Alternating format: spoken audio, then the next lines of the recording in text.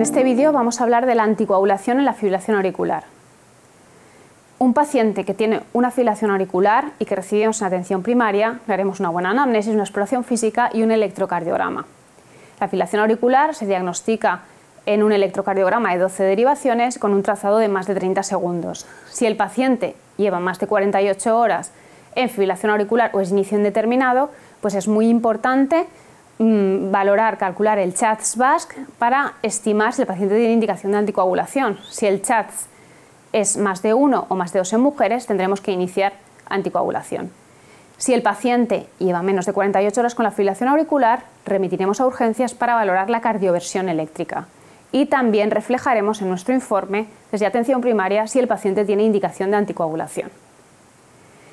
Para indicar la anticoagulación es muy importante calcular la escala Hash-Bled, cuya máximo puntuación es 9, como vemos en la, diapositiva, y que se valora pues, la hipertensión, la función renal hepática, ictus previo, historia previa de sangrado o predisposición, el INR lábil, la edad y la toma de fármacos que puedan mm, producir riesgo aumentado de hemorragia.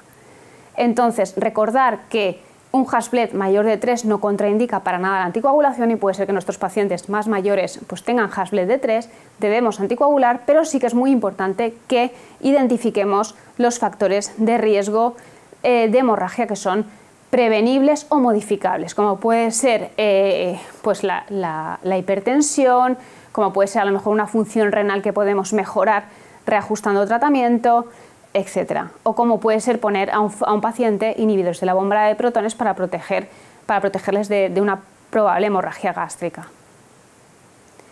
El chat BASC, eh, como hemos comentado, también el máximo score es 9 puntos, con un chat por encima de 1 en varones o por encima de 2 en mujeres, porque sabemos que el sexo puntúa, eh, tendremos que anticoagular al paciente. Dentro del chat tenemos la insuficiencia cardíaca, la hipertensión, la edad, la diabetes, el ictus previo, a la enfermedad vascular y el sexo. Comentar que un paciente que tenga más de 75 años ya tiene un chat de 2, por lo tanto todos los pacientes mayores de 75 años, a no ser que tengan eh, contraindicación para anticoagulación, deberán estar anticoagulados.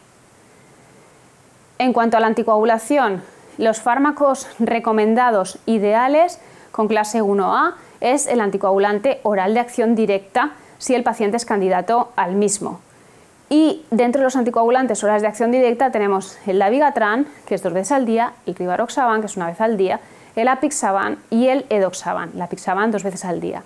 Estos fármacos es muy importante pararse eh, tres minutos para ver los criterios de ajuste de dosis y eh, porque cada uno es diferente para darle la dosis apropiada al paciente. No tenemos que infradosificar los pacientes porque tengamos una percepción de alto riesgo hemorrágico.